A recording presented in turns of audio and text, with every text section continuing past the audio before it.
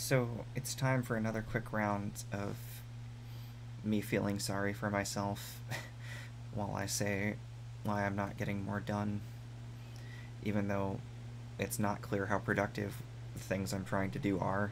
Although I swear I am working on some explanations of angular momentum and um, how the little rolleron control surfaces at the back of a Sidewinder missile, the old models of the Sidewinder missile at any rate, work.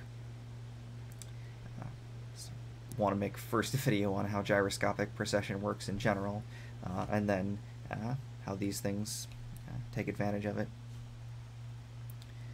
But I don't know, man.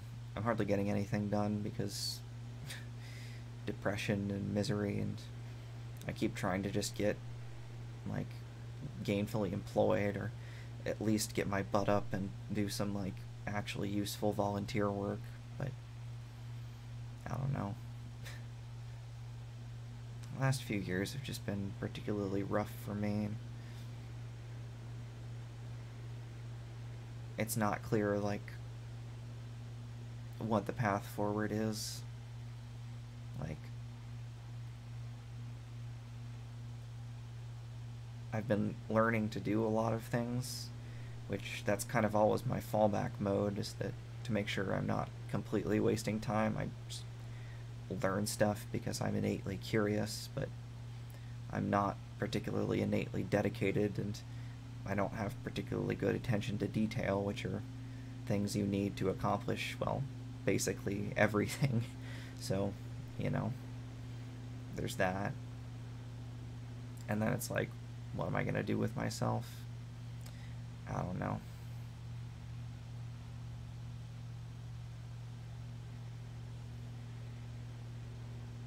I keep messing up.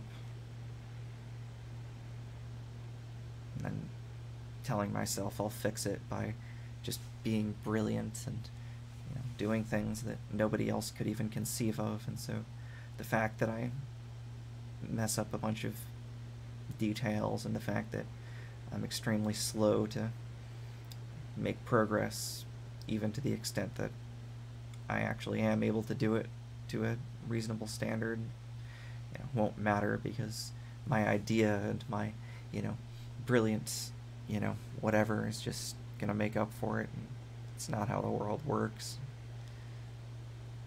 I don't want to feel sorry for myself entirely, though.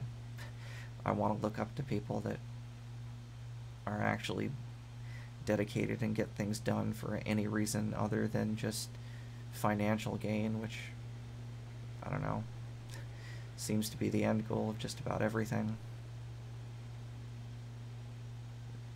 The only other thing around seems to be for fame and hubris, which is, well, pretty much just as bad. It's just not quite as common, although maybe these days it's just as common. That's certainly a lot of my motivation, isn't it? Like, I mean, I'm not talking about YouTube so much as academia, you know. I always wanted to publish a bunch of awesome papers and be famous in the community for, you know, the academic community for doing some groundbreaking work. I don't know.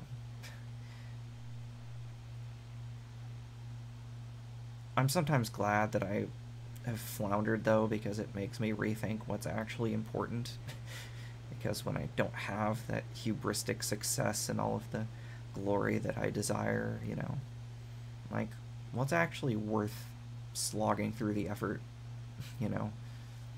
And the answer, of course, is making people happy and making the world a better place.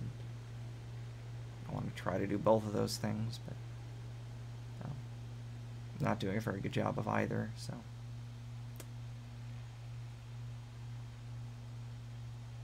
We'll see what happens. I've been getting better at using Blender, so hopefully I'll have some useful 3D animations.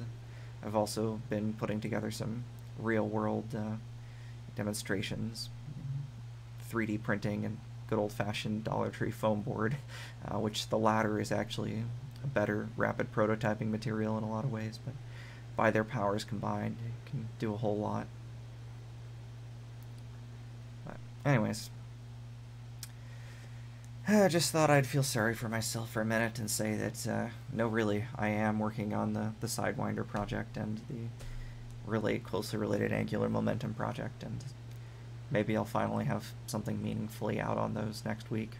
But uh, hopefully nobody's uh, waiting on me for anything in particular. Anyways, peace.